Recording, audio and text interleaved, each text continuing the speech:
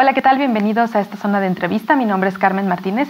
Yo les doy la bienvenida esta tarde para conversar con el rector de la máxima casa de estudios de la Universidad de Guanajuato, Luis Felipe Guerrero Agripino. ¿Cómo está, rector general? Bienvenido. ¿Qué tal? ¿Cómo le va, Carmen? Muy, bien. me da mucho gusto saludarla a usted y a su auditorio, Carmen. Muchas, gracias, por la invitación. No, gracias a usted, rector, en esta dinámica ahora de eh, eh, entrevistas a distancia, clases a distancia, informes a distancia en medio de la contingencia.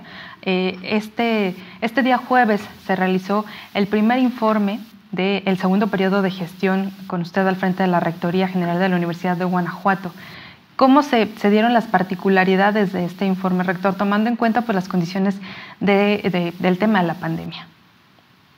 Sí, Carmen, bueno, obviamente me tocó a mí eh, eh, la rectoría en estos tiempos en, las, en los que fue totalmente diferente, eh, totalmente virtual, todo lo hicimos virtual, no hubo nada presencial, todo fue desde casa, con una participación de la comunidad estudiantil, de personal académico, el personal administrativo, pues expresándose sobre diferentes perspectivas universitarias dentro de, de este evento del día de ayer que congregó dos elementos que son una tradición universitaria. Por un lado, la apertura a un nuevo ciclo escolar y por otro lado, el informe. Eh, creo que eh, las condiciones y las circunstancias todavía nos, nos, nos, nos obligan a, a, hacer todo aquello que esté a nuestro alcance para que las cosas puedan suceder eh, en la menor medida posible con la presencialidad. Por eso quisimos que todo fuera virtual, una nueva experiencia un nuevo formato, una nueva manera de aproximarnos a la comunidad universitaria y a la sociedad, pero con, el, pues, con todo el entusiasmo y el compromiso institucional, Carmen, con, por lo que representa este evento. Oiga, rector, este primer año del, segundo periodo de gestión de usted al frente de la Universidad de Guanajuato trajo eh, retos muy particulares, ¿no? De, tomando en cuenta todas las condiciones que se han dado de la contingencia. ¿Qué nos puede decir el resumen sobre este año de, de usted al frente de la Rectoría? Bien, yo creo que eh, este, este informe, este ejercicio de rendición de cuentas de un año de trabajo de la comunidad universitaria, lo podemos dividir en dos grandes partes. Una parte presencial y la otra virtual. virtual. Uh -huh. Y donde prácticamente, y prácticamente es casi la mitad y mitad. Sí, más o casi menos. Casi la mitad fue presencial y la uh -huh. mitad virtual más o menos. Entonces, eh, también eh, podemos decir que no obstante que fue una primera mitad presencial, también hay que decir que es un trabajo previo, que va dando resultados. Eh, y en ese sentido de, debemos decir, Carmen, que hay, una, hay un gran trabajo de la comunidad universitaria. Entiéndase por comunidad universitaria lo que hacen la comunidad estudiantil, lo que hace el personal académico, todo aquello con lo que apoya el personal administrativo y de servicios y las directrices que se enmarcan desde los ámbitos directivos y de los órganos colegiados de gobierno universitario. Y en ese sentido hay eh, datos importantes que a nosotros nos, eh, pues nos, nos, llenan de especial satisfacción, pero sobre todo nos comprometen más, nos, compre nos comprometen mucho más. Por ejemplo, eh, en este año un dato importante es el incremento de la matrícula. No obstante las condiciones en las que nos encontramos, pudimos tener un crecimiento del 5.4% de la matrícula, uh -huh. con el sostenimiento de la matrícula de calidad, con políticas de inclusión y con políticas eh, eh, importantes en materia de absorción, es decir, que más estudiantes nuestros del nivel medio superior se quedan con nosotros. Este dato es muy importante porque eh, para nosotros eh, es, es, fundamental tomar en cuenta que la universidad tiene dos subsistemas. Así el sistema del nivel medio superior y el sistema de, de, de, de, educación superior. Y, y, es muy importante que eh, la, la, la, comunidad estudiantil que se forma en el nivel medio superior tenga más acceso al nivel superior. Y en ese sentido, creo que podemos dar buenas, eh, hay, hay, buenas, buenas, buenas noticias. Tuvimos un incremento de más del 12% en comparación con el año anterior. Y también eh, mediante un programa que tenemos de pases regulados, es decir, que aquellos talentos del nivel medio superior eh, puedan eh, ingresar al nivel superior eh, directamente, de manera directa, es el reconocimiento al talento del nivel medio superior. Eh, y en ese, porque no puede ser que tengamos talentos a nivel medio y luego les digamos que tienen que volver a presentar como si fuera borrón y cuenta nueva. No, mejor hay que impulsar el talento. Y en ese sentido pudimos eh, ingresar a 1.189 estudiantes de nuestras prepas con pase directo a los programas educativos nuestros. Es un incremento del más del 113, 114% en comparación con el año anterior. Entonces, son datos importantes que van orientando eh, eh, el, trabajo de la Universidad de Guanajuato.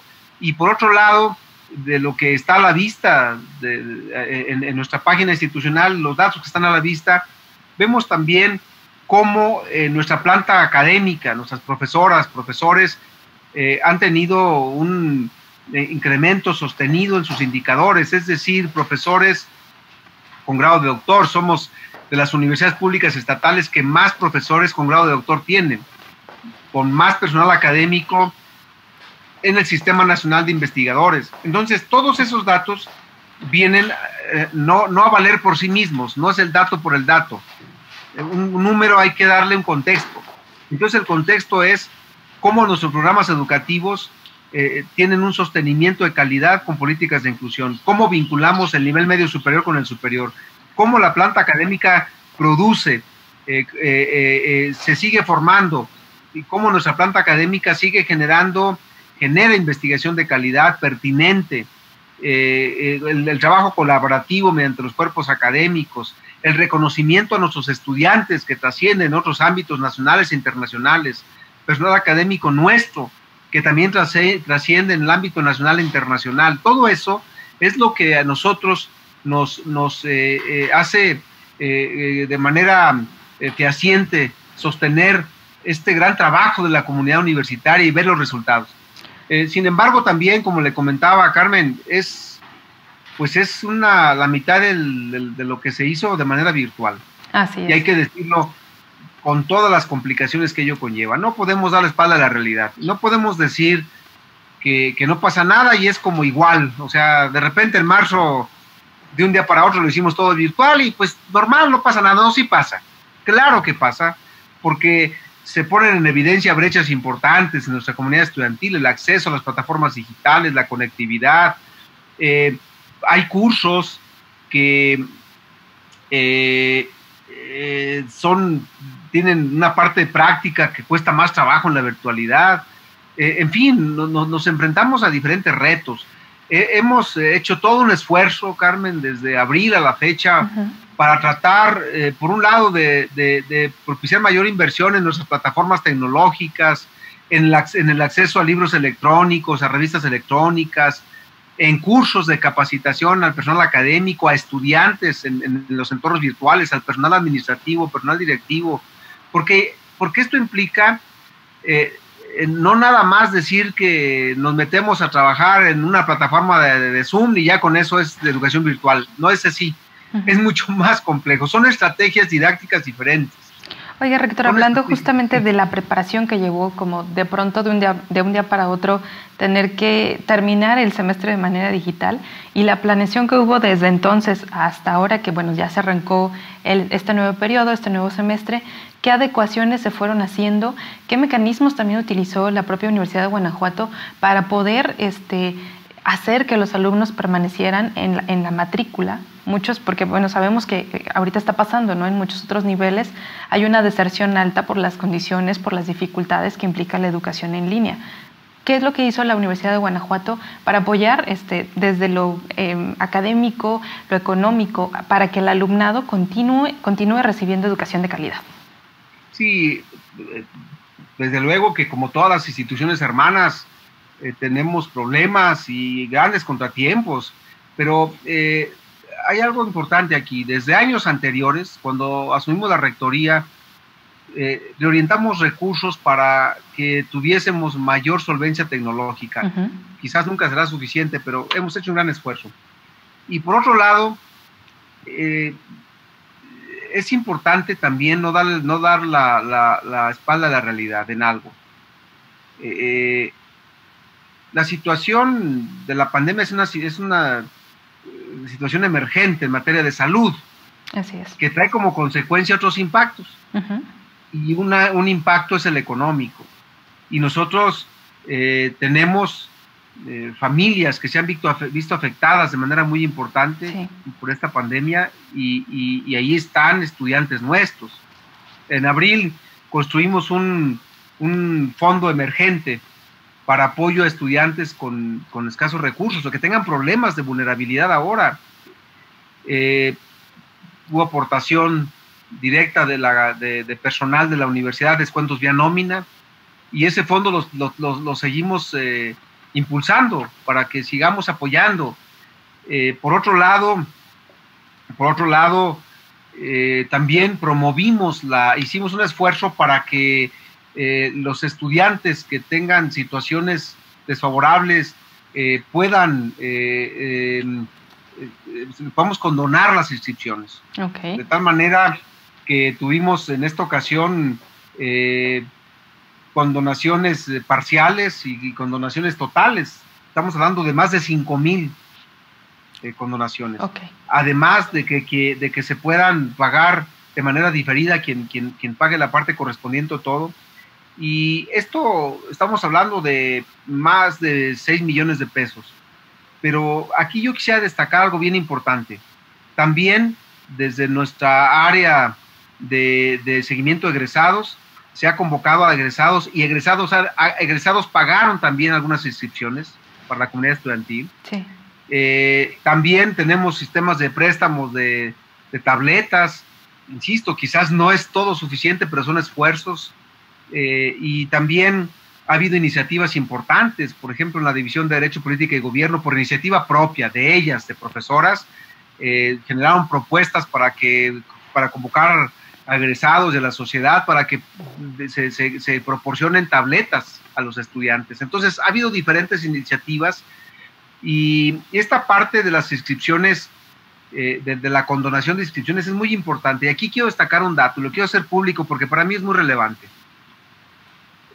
la propia comunidad estudiantil eh, difundió que quien pudiera hacer el esfuerzo y pagar no solicitara condonación y que se diera oportunidad a los estudiantes que tienen más necesidad. Eso habla mucho de ese sentido solidario y del compromiso de nuestra comunidad estudiantil. Puedo decir incluso que hubo estudiantes que pidieron la condonación, se les otorgó.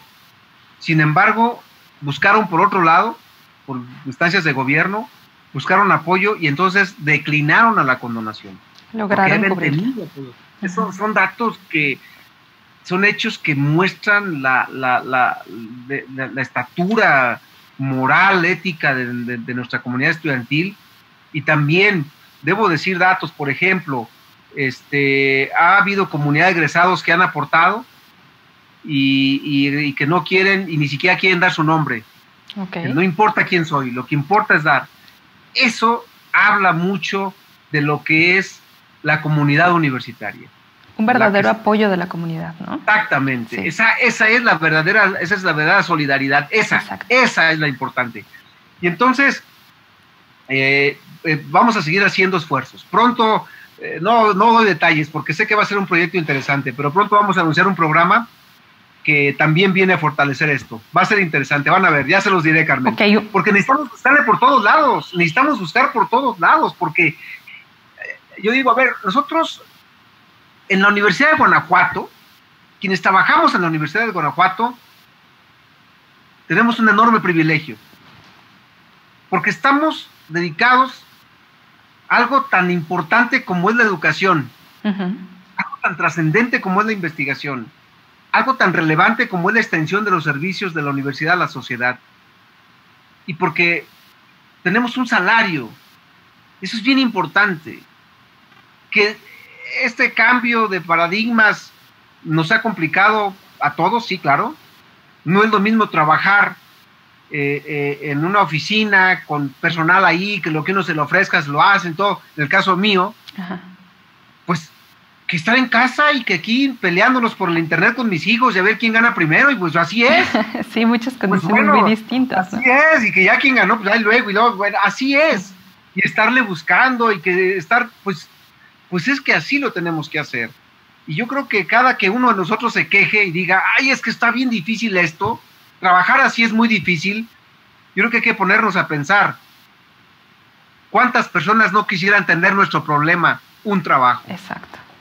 ¿Cuántas personas no quisieran tener nuestro problema? Entonces entrarle con lo que hay en beneficio de la educación y entender que muchas de las familias, muchos de nuestros estudiantes están padeciendo de manera muy importante esta situación.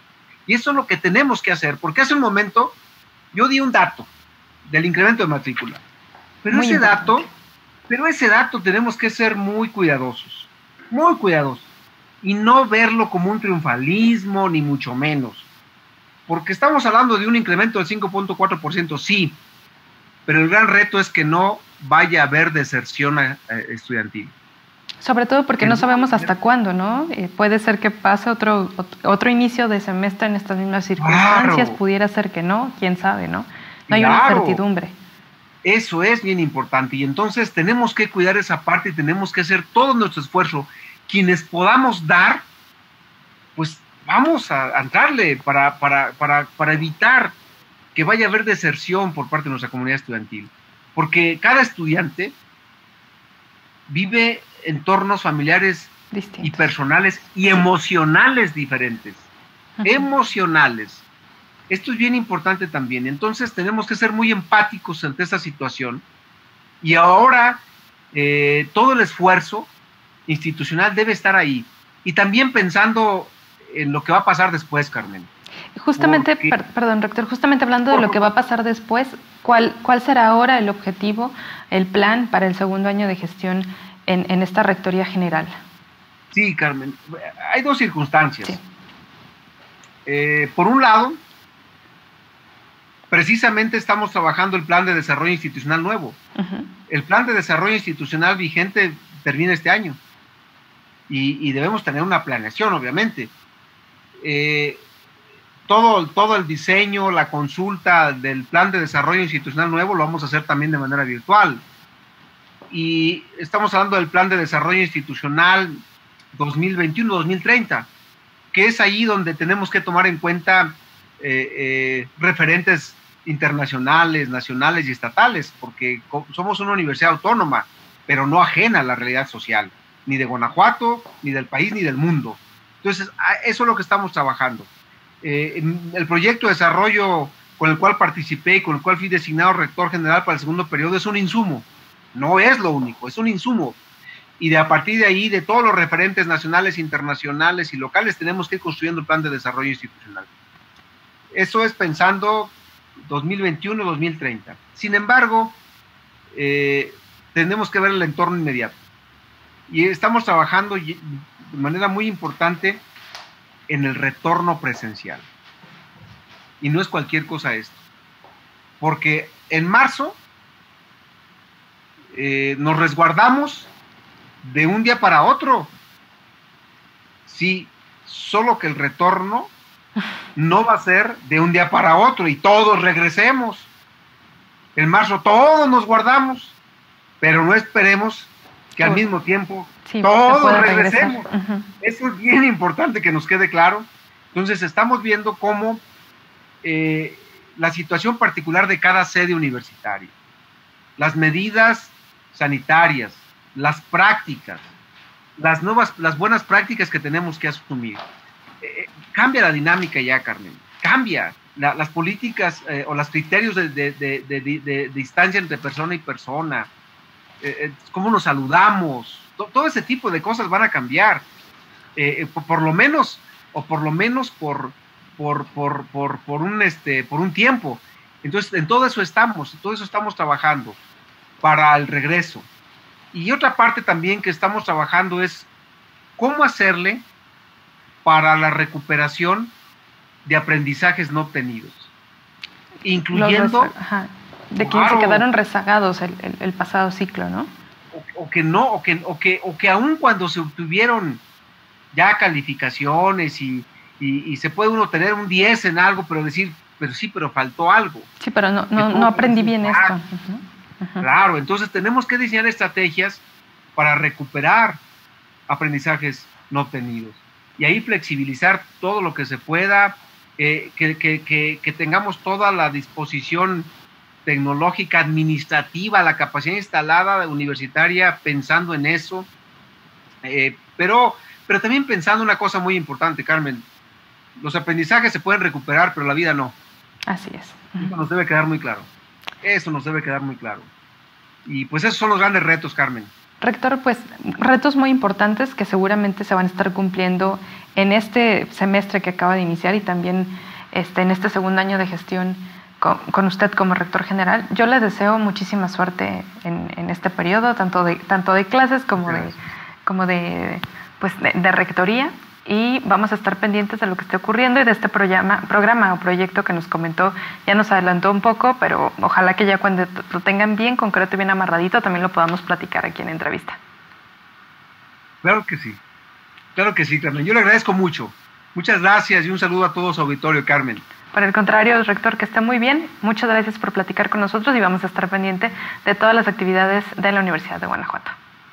Muchas gracias, muy amable. Hasta luego, buenas tardes. Gracias también a usted por, por, el favor de acompañarnos en esta zona de entrevista. Mi nombre es Carmen Martínez y yo le recuerdo que pues, está al pendiente de todo nuestro contenido en zonafranca.mx.